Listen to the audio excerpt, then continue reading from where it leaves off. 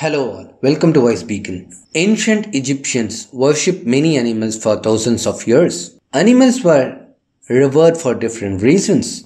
Dogs were valued for their ability to protect and hunt. But cats were thought to be the most special. Why is that? In this video, let's learn about how cats were honored in ancient Egypt. So, let's get into the video to find out the same. Ancient Egyptians believed cats were magical creatures capable of bringing good luck to the people who housed them.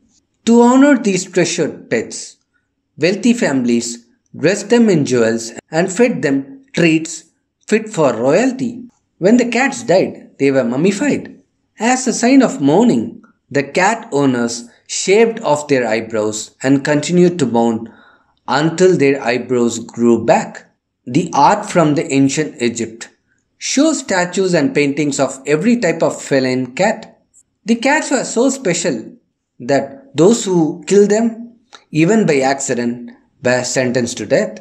According to ancient Egyptian mythology, gods and goddesses had the power to transform themselves into different animals. Only one deity, the goddess named Bastet, had the power to become a cat. In the city of Per-Bast, a beautiful temple was built and people came all over from the world to experience its splendor, which has the goddesses Bastet. Kindly subscribe to Wise Beacon. Thank you.